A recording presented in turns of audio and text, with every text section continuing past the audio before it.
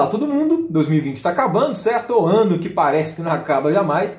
E como último vídeo aqui postado em 2020 no canal, eu queria comentar um pouquinho sobre as leituras que eu tive ao longo de 2020, né? mais precisamente as leituras que eu tive ao longo da pandemia, porque acabou que eu não tive nenhuma leitura significativa antes da pandemia. E aproveitando essa temática, eu também queria começar aqui um pouquinho com vocês a respeito de hábitos de leitura, minha relação com leitura porque, enfim, né, as pessoas que conheceram o Felipe do ensino médio e agora o Felipe atual, né, veem duas pessoas completamente diferentes, principalmente no quesito de leitura. No ensino médio eu era uma pessoa que detestava a leitura, né, abominava livros com toda a força. Né, quantas vezes já devo ter tomado recuperação, quantas vezes devo não, né, quantas vezes já fiz recuperações de literatura. Sempre me dei mal nas partes que envolviam é, literatura e língua portuguesa, porque eu, eu tinha um, uma aversão à leitura. Em compensação, agora eu tenho um prazer absurdo né, lendo livros. Então eu queria conversar um pouquinho aqui sobre como é que foi né, essa minha relação com a leitura ao longo dos anos, porque eu suponho que alguns de vocês, ouvintes, podem ter uma mesma relação com a leitura que eu tinha há tempos atrás, né, e eventualmente pode ser que essa conversa seja proveitosa. Vou começar o vídeo falando um pouquinho de hábitos de leitura para depois falar das leituras que eu tive nesse ano. Se você não tem interesse nesse papo, né, eu estou separando esse vídeo em capítulos, você consegue pular lá para a parte de leituras de 2020 e pular essa partezinha aqui dessa discussão a respeito de hábitos de leitura se não for do seu interesse. Bom, se você viu meu vídeo a respeito sobre a minha escolha de ser professor, que eu postei ali em outubro por conta do dia do professor, você vai ver que a, a minha mudança com relação à profissão de professor é muito semelhante com a minha mudança no quesito de leitura. Eu sempre fui uma criança curiosa, sempre tive interesse de saber por que, que as coisas eram como eram, como é que a natureza funcionava, né? E tanto que por conta disso, quando eu era mais novo, eu inclusive assinava duas revistas né, de divulgação científica que ainda existem, né? A Mundo Estranho e a Super Interessante. Né? Eu particularmente eu gostava muito mais da Mundo Estranho, a Super Interessante assinei só por um pequeno tempo da minha vida, a Mundo Estranho assinei por muitos anos. Então assim, o meu problema na verdade não era tanto com leitura, o meu problema era com livro. Porque, por exemplo, quando eu queria aprender alguma coisa, quando eu queria entender alguma coisa, e eu pegava a Mundo Estranho e ela tinha ali algumas informações, algumas coisas de divulgação, Normalmente eram trechos pequenos, eu não precisava ler coisas muito grandes, né? Uma revista você tem ali as coisas, as coisas dentro de uma revista são mais independentes, né? Você conseguia, pelo menos na Mundo Estranho era assim, grandes revistas são assim, você consegue pegar páginas que não estão numa ordem, né? enfim, não estão na ordem numérica da sua revista, você pode começar pela página 10, aí você muda para uma parte que está lá na página 20, depois outra lá na página 15, você pode fazer essa mudança. Você não tem que ter uma leitura contínua, e isso acabava me agradando bastante. Meu problema sempre era com o livro. A minha relação com a leitura, quando eu era bem mais novo, era mais aquela coisa do tipo: não me incomoda, mas não me agrada. A partir do momento né, que, as, que, a, minha escola começava a cobrar em atividades avaliativas livros, textos para a gente ler, né, que eles seriam cobrados na prova, aí que eu comecei a desenvolver uma repulsa completa, principalmente por livro, né, mas até parcialmente por questões de leitura. Eu tinha uma dificuldade muito grande de me concentrar, então não conseguia ler muitas páginas direto. Quando eu lia 10 páginas, eu já achava que passava uma eternidade, eu não conseguia ler os livros.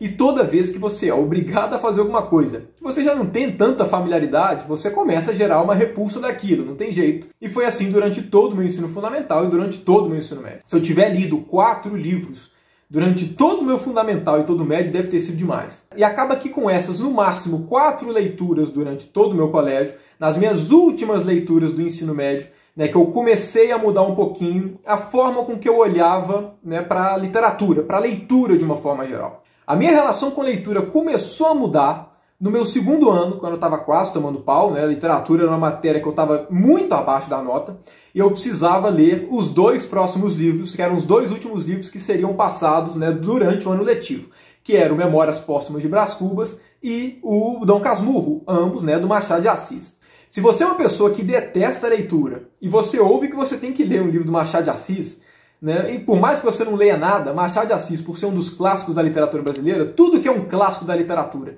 para quem detesta livros, né, é assim, é um pesadelo completo e não foi diferente para mim. Acabava que eu não tinha muita opção, eu tinha que ler o livro, porque senão eu ia acabar repetindo de ano. Comecei lendo Memórias Póstumas de Brás Cubas, que era o primeiro desses dois livros que eu tinha que ler. Tive uma dificuldade tremenda, porque eu já não lia praticamente nada, e o livro não é um livro ridiculamente fácil, né, no vocabulário. Machado de Assis, diversas histórias né? Enfim, tem um vocabulário um pouquinho mais. é um pouquinho diferente do nosso agora, né? por questões da época, o que torna a leitura eventualmente um pouco complicada. Demorei demais, né? Enfim, meu pai teve que me ajudar ali também. Eu, além de ter dificuldade, eu não gostava de leitura. Enfim, foi um masoquismo absurdo. Mas no final de contas, li o livro, consegui me sair bem mais ou menos na prova. Apesar de não ter gostado de ler o Memórias Póstumas, porque querendo ou não era leitura e eu não gostava de ler nada, né? A história eu gostei. E isso me deixou muito impressionado, porque nos últimos livros que eu esperava gostar, principalmente porque eu não gostava de leitura, era de um dos clássicos da literatura brasileira. Então, quando eu li Memórias Póstumas e achei a história interessante, aquilo já me veio ali um sentimento um pouquinho menos preconceituoso, tanto com Machado de Assis, quanto com leitura de forma geral. Quando chegou para ler o Dom Casmurro, eu falei, ah, quer saber, eu vou tentar ler esse livro de fato, eu vou concentrar. Já li o Memórias Póstumas, sempre ouvi o pessoal falando que o Dom Casmurro era mais fácil de ler, de fato, é bem mais fácil de ler do que Memórias Póstumas.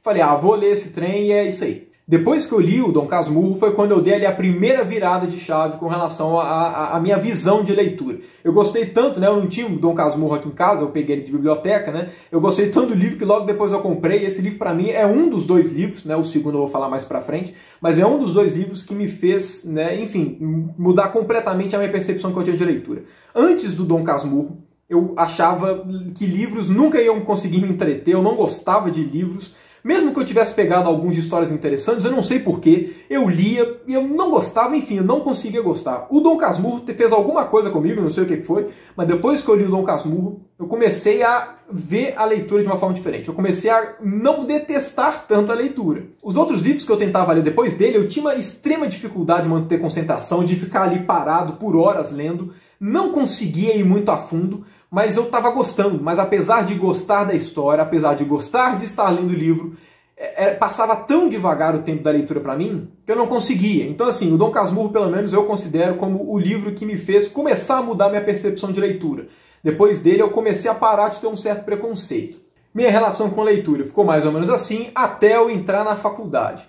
Depois que eu entrei na faculdade, né, enfim, comecei a ter contexto com um ambiente totalmente diferente do colégio, eu não tinha mais nenhuma leitura obrigatória, porque eu estava no curso de física, não estava no curso de letras, né, afinal de contas. E só isso para mim já era de uma enorme satisfação, porque qualquer coisa que eu fosse ler, eu não teria que ler obrigado, e qualquer coisa que eu precisasse ler, eu não teria que ler outra coisa simultaneamente que fosse obrigado. Então, assim, como eu não tinha mais leituras na faculdade obrigatórias, eu poderia ler somente o que eu quisesse, no tempo que eu quisesse, sem nenhuma pressão com relação a isso. Quando começou o curso, eu tinha diversas leituras que eu estava ali pendente, né? Tinha leituras que eu estava querendo fazer. E por sorte, na verdade, eu acabei começando a, a, minha leitura na faculdade, né? Pelo Mundo Assombrado pelos Demônios, do Carl Sagan, né? Aqui está dando um pouco de reflexo. O livro é tão maravilhoso que eu, inclusive, encadernei, por isso está dando esse reflexo maior, porque eu botei contact nele para preservar. Mas esse livro daqui, eu falo sem dúvida que ele que me fez ter todo o gosto de leitura que eu tenho atualmente. Esse foi disparado o melhor livro que eu já li na minha vida. É o livro que eu recomendo para todo mundo. Eu acho que para mim deveria ser leitura obrigatória para todo mundo que gosta de ciência de alguma forma. Eu sempre gostei muito de ciência e esse livro daqui conseguiu fazer com que o gosto que eu tinha por ciência, que ainda tenho, passasse para a leitura. Esse livro conseguiu me tocar de um jeito que nenhum livro anterior que eu tinha lido conseguiu me tocar. Certo? Por mais que o Dom Casmurro tenha mudado a minha percepção, ainda tinha uma certa preguiça de ler os livros. Depois do Mundo Assombrado pelos Demônios, eu passei a ler um livro atrás do outro. Eu tinha gosto de ler esse livro. Eu não sei o que, que foi, mas esse livro me tocou de um jeito tão absurdo que qualquer pessoa que me peça recomendações de livro, eu sempre falo, leiam esse livro.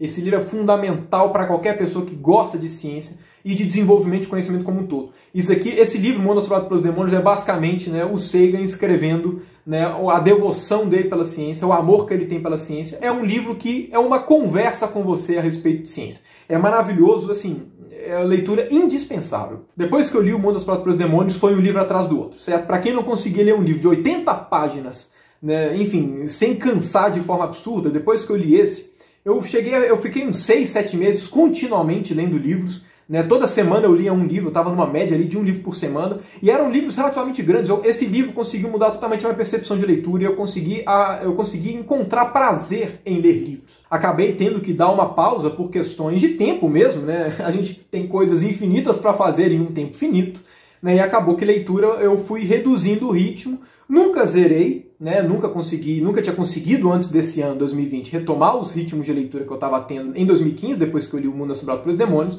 Mas enfim, né, sempre mantinha algum ritmo de leitura. Esse ano, todo mundo sabe, Na verdade, quando eu falo todo mundo sabe, não é todo mundo sabe não. Só se andar na rua que você vai ver um monte de gente achando que, que é mentira. Estamos em uma pandemia. Como todo o lazer que eu tinha acabou sendo direcionado para eu fazer em casa, todo tudo que eu estava fazendo na faculdade foi direcionado para fazer em casa, e eu fiquei basicamente fechado em casa durante todos esses meses, né? Enfim, todo o tempo que eu tinha de lazer fora de casa acabou tendo que se transformar em lazer dentro de casa. Como eu gosto de leitura, né? Enfim, como eu tinha muitos livros pendentes para ler e tinha um tempo que eu não lia tanto quanto eu já li, eu pensei, ah, vou começar a ler mais nessa pandemia. Só que ainda assim, quando você fica um tempo muito grande sem ler, você tem uma certa inércia para começar a leitura, né? E não foi diferente comigo. Então o que, que eu fiz? O que eu pensei foi, ó, o Se Mundo Assombrado pelos Demônios me tirou da inércia de leitura, me fez gostar de leitura em 2015, ele deve conseguir fazer isso em 2020 também, certo? Vou começar lendo ele. Só que eu tinha medo de ler de novo O Mundo Assombrado pelos Demônios de forma engraçada, porque ele foi disparado, né? Igual comentei, o melhor livro que eu já li na minha vida e provavelmente que eu vou ler. Esse livro é muito maravilhoso. Né? Eu, eu não tenho palavras para descrever o que, que eu acho desse livro. Mas assim, eu tinha medo de reler, porque eu ficava pensando, poxa, e se eu reler e todo o encanto que eu tive por ele sumir? né? Porque na verdade eu vejo que ele não é tanto assim. Eu tinha um medo de perder a referência que esse livro tinha para mim. Né, acabou que eu reli ele, né, eu pensei, ah, eu vou começar a ler porque ele deve me dar um ânimo para poder ler o resto, né, para poder continuar minhas leituras em 2020. E foi dito e feito.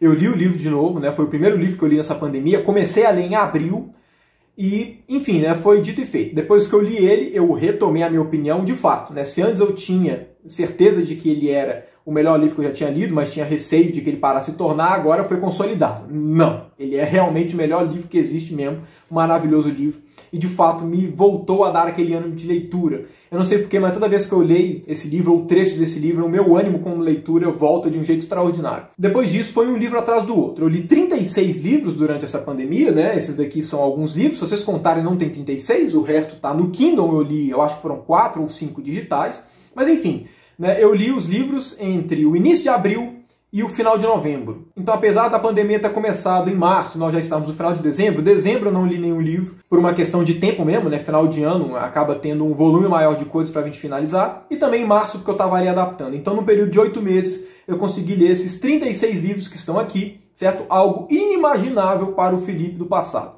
É capaz que o Felipe do ensino médio fundamental olhasse para mim agora e falasse assim: Meu Deus, olha como eu fiquei trouxa, de tanto que eu detestava ler livro. Acabei conseguindo fazer uma média de mais de um livro por semana, certo? E eu, eu vou falar para vocês uma coisa: né? por mais que vocês não tenham tempo de leitura, coloquem algum uma hora por dia. É, é aquela coisa, eu sempre ouço, né? E eu também sempre falo isso: ah, eu não tenho tempo para ler. Tempo para leitura é igual qualquer outra coisa que você faça. Você precisa colocar um tempo específico. Se a gente sempre fala, ah, eu vou ler quando tiver tempo, a gente nunca lê nada. Eu, pelo menos, eu comecei a falar é, não interessa o que eu tiver nessa pandemia. Eu vou de tal hora até tal hora, todos os dias eu vou ler. Quando eu fiz essa rotina, a leitura ficou muito fluida, ficou tranquila, eu não me atrasei em nada, é simplesmente uma questão de prioridades. Se não é sua prioridade ler livro, você nunca vai conseguir ler livro. E leitura é igual academia. No início, quando você vai, dá uma preguiça absurda. Nos primeiros dias você, está, você sai todo doendo. Mas aí, no final de contas, você vai acostumando, seu corpo vai habituando e para você aquilo fica natural. É a mesma coisa para leitura. No início é muito difícil.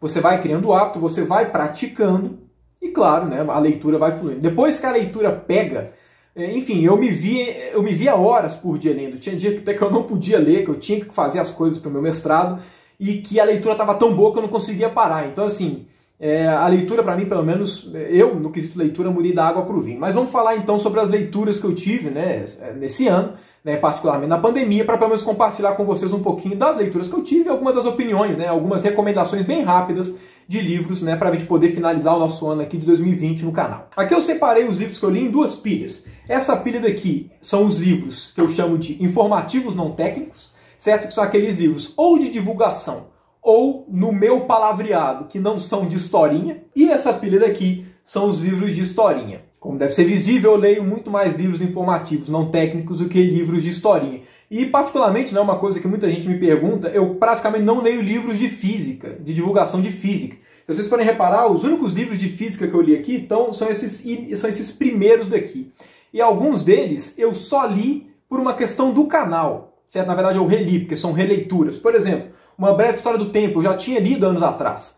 Eu só reli esse ano porque, enfim, como eu estou com um canal de divulgação, eventualmente, né, livros de divulgação te passam uma forma interessante de, de transmitir alguns conhecimentos. Os dois livros do Sagan, um foi releitura, que foi o Cosmos, e o Palio de Ponta Azul, eu não tinha lido, li, li, agora, né? Eu adoro o Sagan, então pode ser o livro que for. Se for do Sagan, eu tô lendo. Enfim, se você pretende seguir por uma carreira acadêmica, uma coisa que você vai acabar percebendo é que se você segue por uma determinada área, você começa a ter um pouco de preguiça de ler os livros daquela área. Por quê? Os livros de divulgação são muito legais, principalmente quando você não é daquela área, que te passa um panorama. Quando você já estuda um certo assunto de forma técnica, a divulgação desse assunto técnico não te pega tanto quanto pegaria se você não tivesse essas informações mais técnicas. Por isso que eu acabo não lendo tanto livro de física, e por conta disso, né, se vocês repararem aqui também, eu tenho lido muitos livros de biologia. E grande parte das menções honrosas né, que eu vou falar aqui a respeito né, das minhas leituras são desses livros de biologia. Eu vou deixar aqui na descrição né, o nome de todos os livros que eu li, se você quiser dar uma olhada. Também estou deixando aqui na descrição um link com sugestões de livro né, lá na Amazon que eu faço, que são os livros que eu recomendo é, no meu Instagram. Se tiver interesse, né, algum livro de física, também tem uma lista aqui de recomendações minhas. Mas bom, de todos esses livros que eu li daqui, tem alguns que eu acho que são dignos de nota. Primeiro, né, eu acho que, enfim, é, eu acho que não preciso comentar, né, reli o Mundo Assolado pelos Demônios, esse, qualquer leitura que eu fizer, esse livro sempre vai ser digno de nota. Tirando o Mundo Assolado pelos Demônios, né, para ser um pouco mais justo, esse, eu coloquei aqui os três livros né, particularmente, não significa que eu não gostei dos outros, ok? Mas esses três livros aqui eu gostei de uma forma muito forte, até muito mais do que eu esperava que eu gostaria. Primeiro, O Gênio Egoísta, do Dawkins. Nunca tinha lido nada do Dawkins, sempre me falaram para ler. Não sei porque que eu não li até hoje, certo? Fui ler só agora, depois de muito tempo.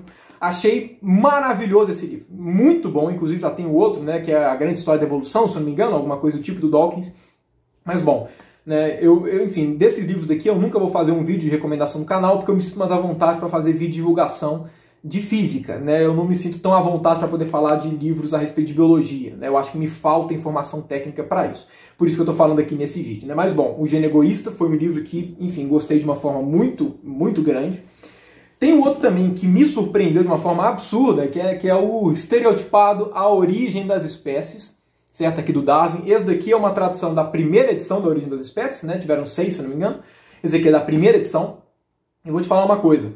Eu achava que a Origem das Espécies ia ser um livro extremamente difícil de leitura. Eu sempre achava que ia ser um livro bem mais técnico, que eu não ia conseguir ler, porque eu não sou da biologia. E vou falar que eu fiquei muito impressionado com quão fácil é esse livro. Esse livro realmente é um livro de divulgação. O Darwin publicou esse livro realmente para que pessoas que não fossem necessariamente da biologia conseguissem entender. E nesse ponto é maravilhoso. Assim, é muito inacreditável como é que na época que ele escreveu, né, foi por volta de 1860, né, mais ou menos nessa época, é impressionante as ideias que ele já tinha nesse momento. Claro, a teoria da evolução não é só do Darwin, né, mas enfim, né, o Darwin tem um papel obviamente inquestionavelmente muito grande. Né? Então, enfim, né? muito bom esse livro, recomendo para todo mundo. Foi um livro que eu achei maravilhoso. Não sei como eu deixei passar tanto tempo para ler esse livro, mas ó, se você tem medo de ler esse livro, que acha que ele é muito difícil, não é, muito tranquilo de ler, certo? Vale a pena demais. E o outro livro que eu li também de biologia, que eu acho que merece nota, né? O do Steve Brussati, que é o Ascensão e Queda dos Dinossauros. Muito bom esse livro, muito legal, e a capa dele é mó gostosa de passar a mão, né? Mas enfim, muito bom esse livro. É muito claro também, muito didático. Eu não tenho nenhuma informação de biologia, eu nunca fui bom em biologia. Né? Sempre tive dificuldade em biologia no colégio também, apesar de achar legal, mas não tenho facilidade. E vou falar que muito legal né, para poder aprender, principalmente né, no quesito de dinossauros, né, quem não gosta de dinossauros. Né? Existem duas pessoas no mundo, as que gostam de dinossauros e as que estão erradas. Né? Decidem qual dos grupos vocês estão. Tem outros livros aqui, claro, que eu acho que são muito bons. Por exemplo, o livro do Pirula, da Sem Frescura, muito bom, foi um livro que eu gostei demais, né? Fui um dos primeiros a comprar, tem até autógrafo, enfim. Tem outros aqui, o Tolices Brilhantes, tem Como Mentir com Estatística, enfim. Tem outros livros aqui que são legais, mas os que eu acho realmente é, dignos de nota, né, assim, que eu, que eu gostaria de perder um tempinho a mais, igual eu fiz, né, para poder comentar dos livros, realmente são esses daqui que eu comentei. Né, pelo menos nos livros técnicos. Dos livros de historinha, eu não tenho tantas menções honrosas. Eu tenho uma só e agora que eu fui perceber, eu coloquei esse último aqui, era para estar no informativo não técnico, não de historinha, mas enfim. Né? Enfim, tiveram alguns que eu gostei muito, por exemplo, Eu, Robô Maravilhoso, Fundação muito bom também. Mas se tem um livro desses de historinha, que não é informativo, não técnico, que eu gostaria pelo menos de dar uma, uma ênfase maior para ele, é sem dúvida alguma o Moby Dick. Né? Enfim, o Moby Dick faz parte né, da cultura pop no mundo inteiro. Esse aqui é um dos clássicos da literatura mundial, é um livro relativamente grosso, né, até mais grosso do que isso, porque é um livro que as letras são um pouco menores, né? Mas, sem dúvida, foi o livro mais difícil que eu li. A leitura desse livro é muito complicada. Eu achei o vocabulário pesado, né? a forma de escrever complicada. É, passa por muitos tipos de, de escrita diferentes ao longo daqui. Enfim, eu achei muito difícil. Eu demorei um tempinho, demorei bem menos do que eu esperava, né? Demorei o quê? 15 dias, 14 dias para ler esse livro. Mas assim, muito difícil de ler. Eu tive que gastei muito fosfato, né, para ler esse livro. Mas vou te falar que que livro, gente, que livro. Esse livro é muito bom, a história é maravilhosa. Muito bom, eu tinha muita vontade de ler o livro, porque ele é um dos estereótipos da literatura mundial. Tudo de cultura pop você já deve ter visto em desenhos, né? Ou qualquer coisa relacionada a Moby Dick, né? A cachalote branca, enfim. Né? Muito bom esse livro. Esse livro aqui de história, no que diz respeito, né? livros de historinha, é um dos livros que eu sem dúvida recomendo. Foi, para mim, uma das melhores leituras que eu tive na minha vida. Né? Poderia ser só um pouco mais fácil de ler, né? Eu tenho que reler depois para poder pegar os, as coisas todas. Um outro livro também só, na verdade, para não falar que eu vou colocar só as Dimensão Honrosa, um outro livro que eu também gostei muito foi o Estação Carandiru, do Drauzio. É um livro fininho aqui, ó, bem fininho. Vale a pena ler, certo? Eu acho que, enfim, ninguém perde, ninguém perde em leitura alguma. Por mais que você leia um livro e não goste, não existe perda de tempo com leitura. Toda leitura é proveitosa de alguma forma. Mas bom, essas foram minhas leituras de 2020. Deixa aqui nos comentários, né? Você também teve as suas leituras, quais livros você leu, teve algum aqui do que eu falei de menção rosa que você não gostou? Tem algum desses aqui que você está vendo, que você gostaria de falar que, nossa, não, esse aqui você não deu menção rosa, mas é muito bom, coloca aqui nos comentários, certo? Vamos discutir um pouquinho como é que é a sua relação com leitura, né? vamos aproveitar aqui esse ambiente né, para a gente poder trocar um pouquinho de ideia. Mas bom, era basicamente isso que eu queria falar aqui no vídeo. Se você gostou, não deixe de dar o seu gostei, certo? Se inscreva no canal e não deixe de ativar o sininho para que você possa receber as notificações dos próximos vídeos. Compartilhe com seus amiguinhos, né? E claro, né, só repetindo, comente aqui suas impressões, né, como é que tem sido suas leituras, como é que é o seu hábito de leitura, livros que você gosta, livros que você não gosta, se eu falei alguma bobagem, se você queria que eu tivesse falado mais alguma coisa, dúvidas, enfim, dê os comentários a seu favor. No mais, feliz ano novo para vocês, certo? Que 2021 seja muito melhor do que 2020, certo? Que eu acho que não deve ser muito difícil, porque eu vou combinar, 2020 foi um ano bem bosta, né? Mas enfim, é isso, né? Obrigado por você que ficou até aqui e até o próximo vídeo.